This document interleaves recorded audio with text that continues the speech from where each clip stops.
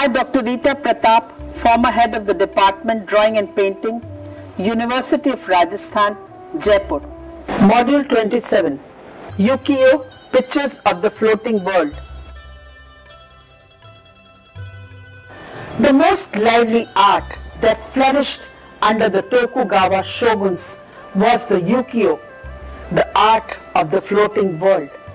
The gaiety and extravagance of the floating world of Edo reached its climax in the Genroku era. In the Tokugawa period, the military, aristocratic, and newly rich merchants wanted to carry pictures into their houses. The fashionable gatherings, pageantry, and festivals that went around them. Eitoku, Kano Naganobu, Hishikawa Moronobu were the artists who created kakemono hanging scroll paintings on wood block prints along with some screen paintings, printed books and emaki hand scroll. The Yoshiwara continued to inspire artists of ukiyo until well into the 19th century. Although the Kano, Namban, Nanga and even Tosa schools all contributed to the rich tapestry of Tokugawa art. All were to a greater or lesser degree derivative from something else.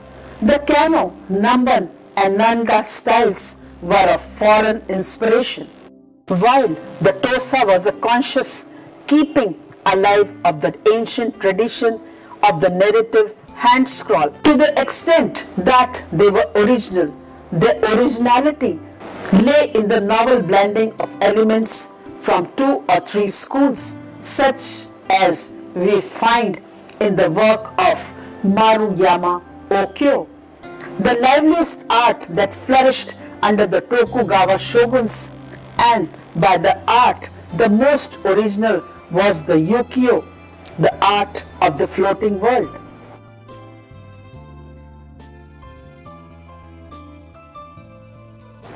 The artists of ukiyo claimed that they were reviving the true Yamato in opposition to the foreign academic kano that had dominated official painting for several centuries. If this were all they achieved, the ukiyo would be of little interest, but they did far more than this. They created a new kind of art to reflect and to satisfy the needs of a new society. In the early years of the Tokugawa period, the patrons were military aristocratic class as before, and a few newly rich merchants whose eyes were dazzled by the splendor of the great Momoyama screens and sliding doors. Nevertheless, patrons no longer desired the odd conventional subject of Japanese art, pine trees, flowers, or scenes from the tale of Genji.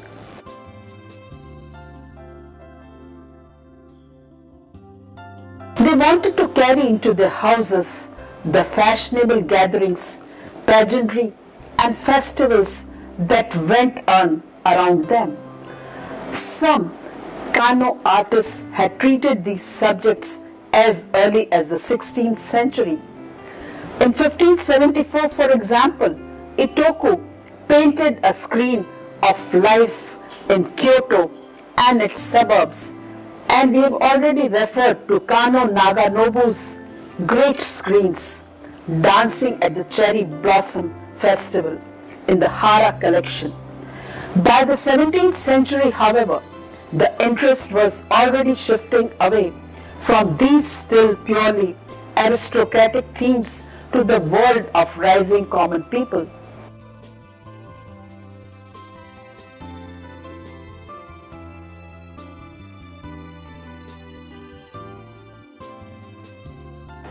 A pair of screens known as the woman amusing themselves or since they once belonged to Matsuura family or since they once belonged to Matsuura family in northern Kyushu as the Matsuura Byobu. They were painted sometime before 1650. The name of the artist is not known. It is clear, however, that he was not trained in the Kano school. The screens now show women and little girls engaged in various pastimes such as card playing, music, making up and smoking introduced into Japan from Europe.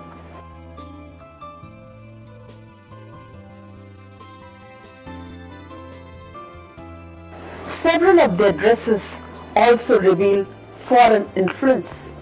Screens depicting gorgeous dress materials were very fashionable at the time, partly as an echo of Momoyama grandeur that was beginning to filter down to middle class and partly as a symbol of a newfound prosperity.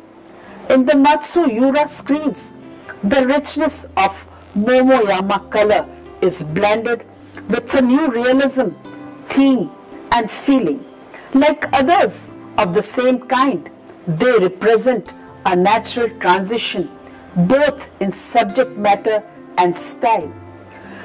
From the large-scale colorful aristocratic art of the Momoyama period to the intimate small-scale popular art of the 18th century, the true ukiyo Hishikawa Moronobu, an actor of the Nakamura Theatre,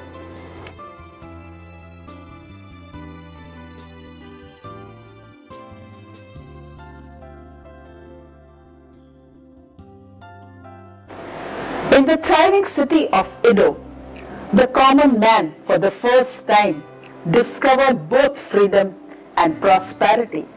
The government indeed attempted by an endless stream of petty regulations to curtail his freedom, but these merely drove him to seek what compensation he could and his energy found an outlet in the great variety of material and physical pleasures that the city had to offer. His moral code taught that so long as he provided for his wife and family at home, what he did outside was his own affair. He took his pleasures where he found them, chiefly in the Yoshiwara, the grey quarter of the city. Here, a samurai could indulge in brawling, drinking, and licentiousness to a degree that would not have been tolerated elsewhere. The commoner might take no part in the ritual ceremony of the aristocracy, but in Yoshiwara he found a substitute in the beauty of the dancing girls, tea house waitresses and prostitutes, in the fashion parades and in the rigid, though no doubt playful etiquette by which they gave some dignity to their calling. The gaiety and extravagance of the floating world of Edo reached its climax in the Genroku era.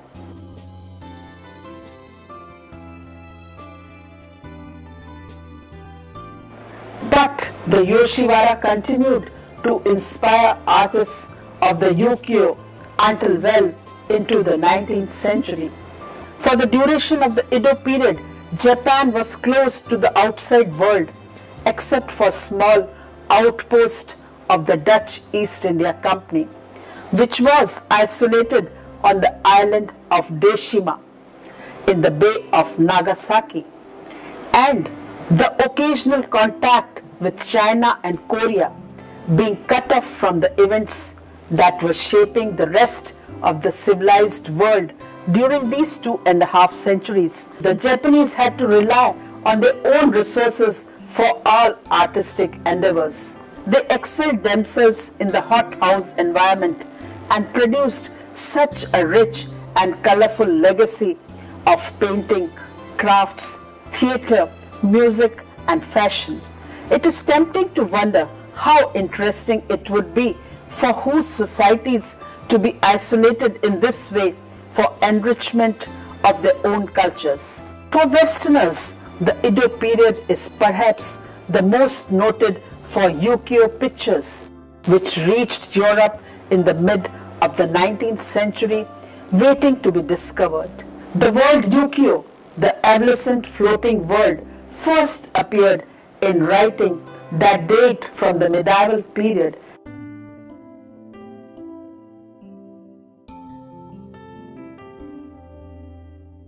at which time it has religious connotations and was used in referring to the transience of life on earth.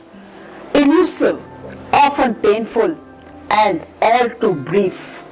Later during the Edo period, the meaning of the world changed somewhat and took on rather a sardonic tone to denote the new world of hedonism, fashion, and style. The world of kabuki theatre and the pursuit of delectation in the pleasure quarters, particularly those of the Yoshiwara in the North Tokyo. That is what is called the floating world. The word caught on in popular usage, ukiyo. Talk was highly colored, race and suggestive. The language of dalliance and filtration and ukiyo madness referred to an addition of the exquisite delights of pleasure quarters, which was becoming epidemic. Ukiyo were the paintings and prints that depicted this floating world. This new and colorful stratum became a vital part of Edo society and especially its art and to see how it evolved it is worth looking briefly at the historical background. The early 17th century saw the whole of Japan after more than a couple of centuries of intermittent civil wars at peace and unified under the rigid government of the Tokugawa shogunate. The city of Edo, Tokyo, had become the new administrative capital. The regional feudal lords were required by law to spend part of each year. The purpose of this requirement was twofold. Firstly, the daimyo's family had to stay in Edo while the lord was visiting his country for fiefdom and were in fact hostages. And secondly, the level of splendor in which he was obliged to live in the city usually kept him painfully short of money and therefore unlikely to be able to marshal the funds and forces for any anti-government mischief. This demonstrated considerable shrewdness and caution on the part of the shogunate and the system worked rather well for the greatest part of the two and a half centuries that the regime was in power. Social stratification in the country was clearly delineated with the shogun. Imperial family noble courtiers and regional daimyo lords forming the apex of the pyramid followed by the samurai, the arms-bearing warrior class, and bureaucratic administrators. About 80% of the population were rice farmers and formed the middle ranking layer, while the bottom layer of society was made up of craftsmen and merchants known as chonin. They counted as the bulk of the residents of Edo and other main cities. In the early years of the Edo period, the ruling daimyo had been economically independent and lived luxuriously off a taxed percentage of the rice harvest produced in the country land holdings. By the end of the 17th century, an economic disparity had arisen, with many of the Chonin having more wealth at their disposal than many of their better born superiors. In Edo, the center of this world was the Yoshiwara, the vast courtesan quarter situated close to the Sensoji temple in Asakusa in the northeast of the city. Evil supposedly came from this direction and the temple was sited to protect the Edo castle and the resident shogun. The area was established in 1657 and immediately became a highly successful enterprise. The end came in 1958 when the Japanese government outlawed prostitution and so drove this ancient profession underground into the hands of criminals. At the Omon, however, the retainers had to be dismissed and the customer entered on foot into a broad street, the Naka Dori, which was crossed by numerous side streets, all lived with tea houses and brothels. The area came to life at dusk as the lanterns were lit and the first customers appeared through the gate. In each house, the courtesan sat at street level, carefully made up and dressed in their finery with their obi sash tied at the front in the manner unique to their profession. In some of the buildings, they were typically separated from the street by wooden slats through which they could conduct negotiations with a customer before he was allowed into the house. The word iki was coined to denote good dress sense, a clever combination of colors, an unusual weave of cloth, a daring but successfully pattern. Courtesans were ranked according to their beauty and abilities and of course their price followed suit. Highest of all were the Oiran, the most beautiful of all peerless in wit, and above all skilled in the handling of men. At the most, there were 18 in the Yoshiwara who were treated like princesses and could take their pick of lovers from the highest ranks of nobles, courtiers and samurai. Most of the better class courtesans had two young girl assistants or kamuro who allowed their mistresses everywhere in attendance, who followed their mistresses everywhere in attendance. They are often depicted in ukiyo-e side by side and walking a couple of paces behind their mistress, holding flowers or carrying little gifts for some favored customer. An example is of a courtesan and maid by Teisai Hokuba dated to 1771 to 1844. Ink and colors on silk, private collection.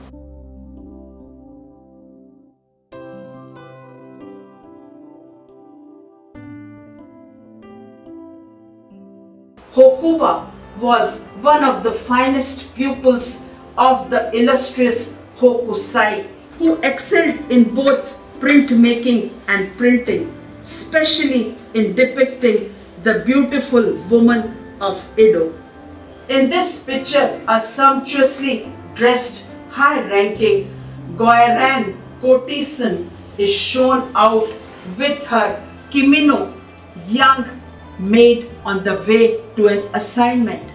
If by the age of 24, the young Kamuro showed promising signs of becoming a good courtesan herself. Ukiyo followed the typical pattern of all schools of artistic endeavor and evolved from an initial period of development and experimentation to a peak of maturity and finally a decline into decadence and repetition. The first stages of Ukiyo are seen in the genre screen paintings of the early 17th century. Tosa and Kano school artists mentioned above, which show in minute detail the colorful proletarian life of the streets and temples of Kyoto and the festivals and popular amusements in the countryside. An example is of entertainments at the house of pleasure. Unknown artist dated to 17th century, six panel screen and in a private collection.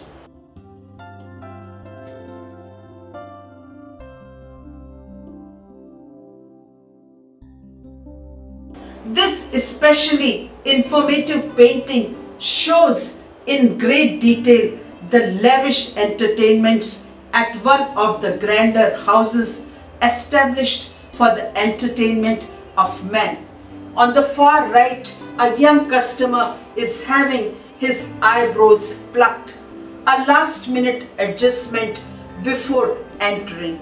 In the third panel from the right, four young women seem to be encouraging a tipsy man to dance, while in the pavilion, men and women smoke and play games. On the far left of the screen, another party sitting around a dance are celebrating the flowering cherry tree nearby. In a short time, these artists departed from the epic, wide-scale views seen on screens and turned their attention to focus more on intimate details and turned their attention to focus on more intimate detail. Figures shown singly or in group, for example, this trend reaching an apotheosis in the Kubi-e, head and shoulders, prints of famous. An example painted by Utamaro is of a courtesan. It is a woodblock print and at present in private collection.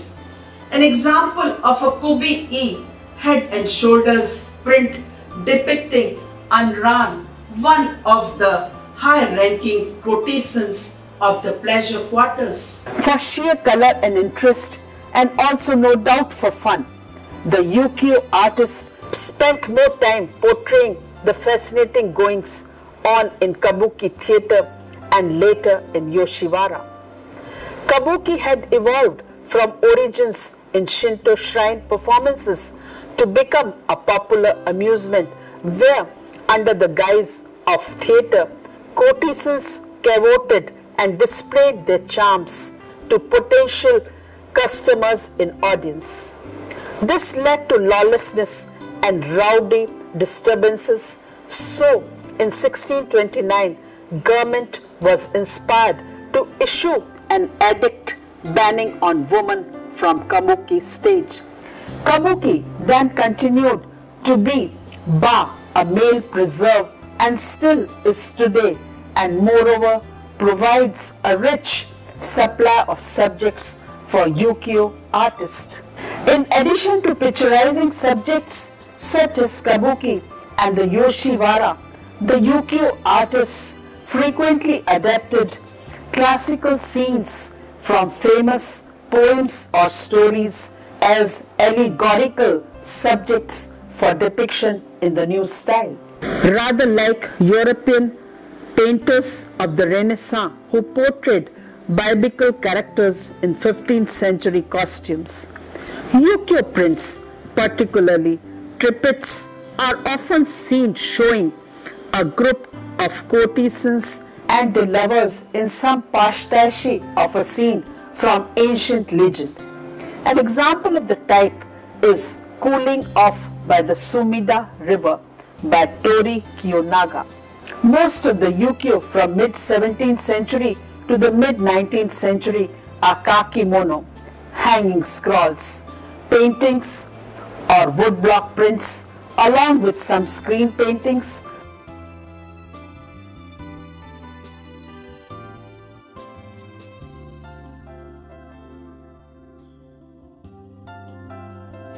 printed books and e-maki hand scrolls.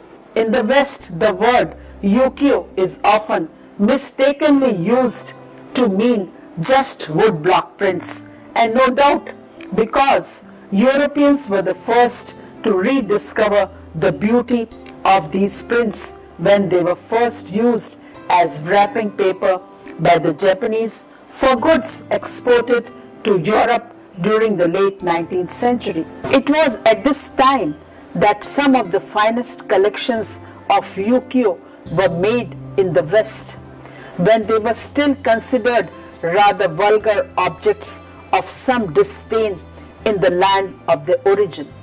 The influence of ukiyo on such artists as Whistler, Monet and Van Gogh is well known and much studied and Impressionism the one area in Western art with which the Japanese most identify today.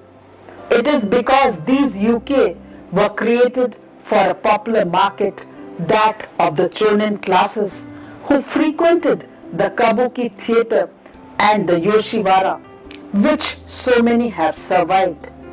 Considering the number of works that must have been destroyed by fire, earthquake and neglect, it is easy to see that the original volume must have been vast indeed.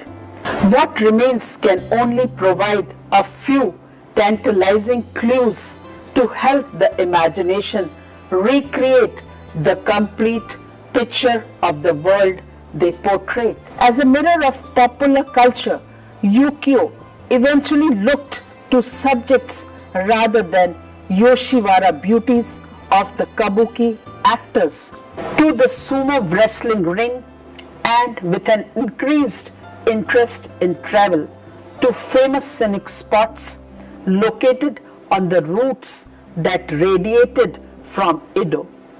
The first figure to appear out of the tradition of 17th century genre painting who can be considered to be ukiyo artist is identified by name so has been known simply as the Kambun master.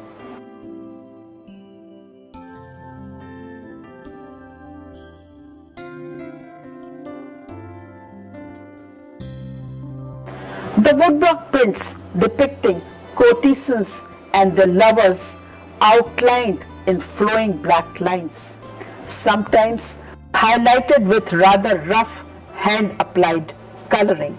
An example is of a courtesan with flower arrangement, ink and color and powdered mica on paper at present in the private collection.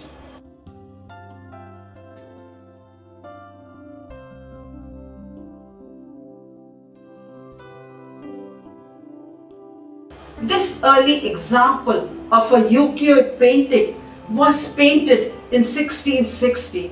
The atmosphere has been enhanced by preparing the paper with powdered mica which gives a silvery scene to the background.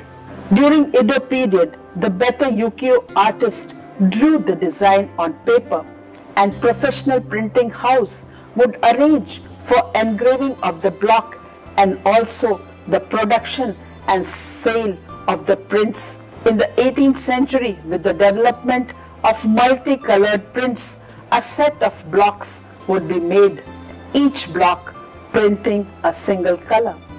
Refinements that can be seen particularly on Surimono limited edition prints for special occasions including gauffrage embossing to give a textured surface to the paper and the application of special materials such as powdered mica to give a shiny appearance.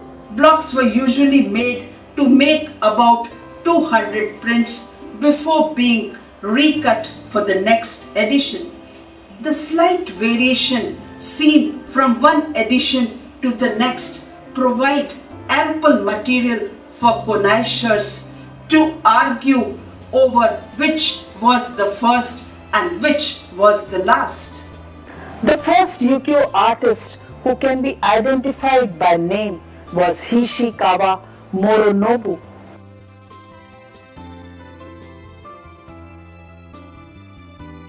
who who was possibly a pupil of the Kambun master and whose style he imitated earlier in his career when he was illustrating printed picture books. His early works were also largely erotic or suggestive depiction of floating world, simply printed in black ink on paper. An example of monochrome woodblock print titled Lovers Under a Mosquito Net is a good example.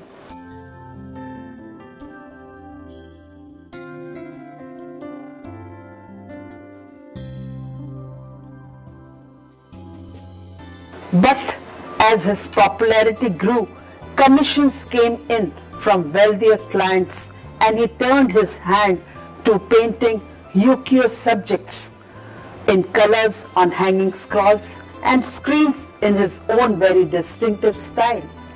Typically, his women were full-fleshed and plump-cheeked with narrow eyes and raised eyebrows, which gave them a questioning look as if they were calculating what a client might pay. From Moronobu's time, the world of ukiyo took off and scores of new artists appeared to set up their own studios. Many of them are household names as popular in the West as they are in their native Japan. Kaigetsudo, Endo, and Koryusai Isoda, Torii Kiyonaga, and Suzuki Harunobu, and of course the peerless masters Utagana Utamaro, Katsushika Hokusai, and Utagawa Hiroshiga, and mysterious Sharaku.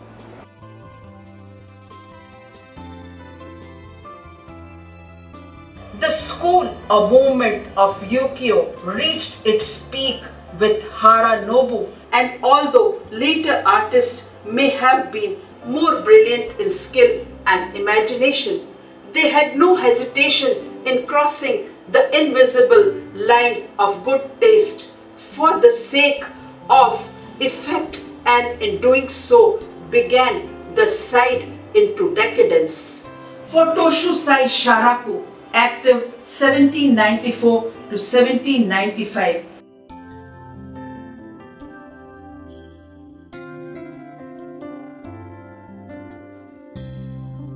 Nothing is known about his whereabouts.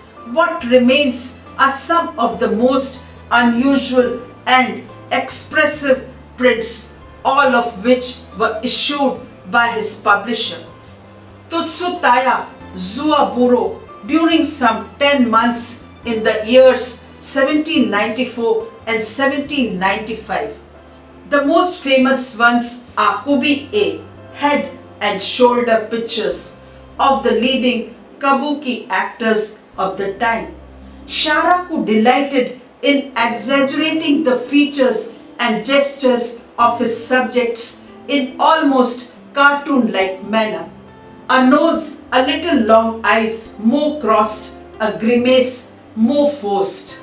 An example is of a woodblock print of the actor Mitsu Goro in the role of Genzo. It is a woodblock print with mica ground and at present in a private collection.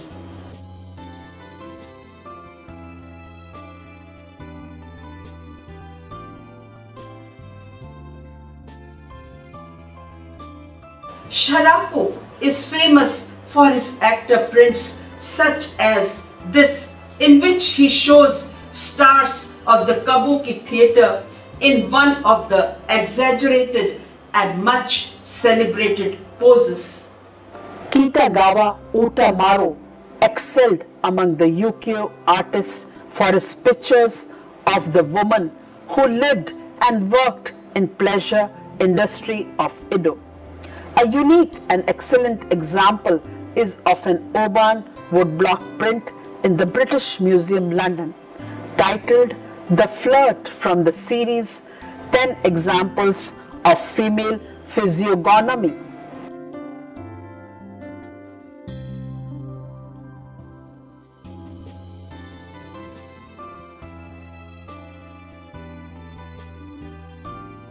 Apart from the excellent draftsmanship and quality of his prints, Utamaro also shows an uncanny knack of revealing the moods and temperaments of his subjects and even produced a series of prints just to depict types of women. It is obvious that he spent his life studying them with great care to understand the very nature of the feminist, their way with fashions, their skilled enticements and expressions, and he knew just how to capture them at just such moments when they were irritable to men. His output was voluminous and it includes many well-known series of Shunga prints as well as some fine paintings. Some of the best pieces are the front pieces to Shunga editions such as the famous album played in Uta Makura, the poem of the pillow.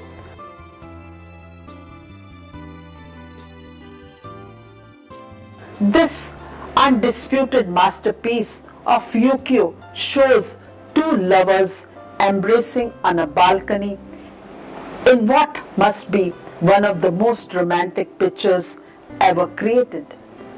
Utagawa Hiroshige.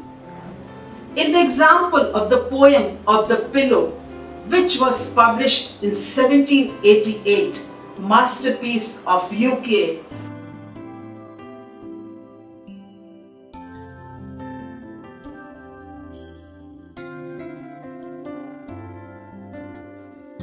shows two lovers embracing on a balcony in what must be one of the most romantic and erotic pictures ever created. The woman is facing away, her left hand caressing the face of her lover, and it is presumed that they are kissing. He has his hand on her right shoulder and the other hand is holding a fan. Their kimonos are coming adrift and hint deliciously at what will follow. It is in this print that Utamaro demonstrates his wonderful sense of line. Close inspection reveals that the lover's right eye seemed to connect with his lady's hair in extraordinary, successful compositional bravado. Just look at that eye, granting that the culmination of ukiyo prints was marked by Utamaro's efforts. Pictures of the demi-monde made by his later followers tend, with the odd exception, to become more decadent and, in many cases, sink into unmitigated vulgarity with coarse and inexpert coloring and poor composition. But two artists stand out not just for portraying beauties or actors in the ukiyo mode, but also for turning their attention to other colorful everyday sights that abound all around during the late Edo period. Utagawa Hiroshige 1797 to 1858 chose to limit his oeuvre to depicting the idyllic scenery of pre-concrete Japan and by so concentrating his talents excelled in this field for more than any other of the ukiyo print artist. After handing over his post of a fireman to his son, he pursued his creation full time. He soon departed from the usual ukiyo subjects of the floating world. Thus, these two artists, Utamaro and Moronobu, stand out just for portraying beauties of actors in the ukiyo mode.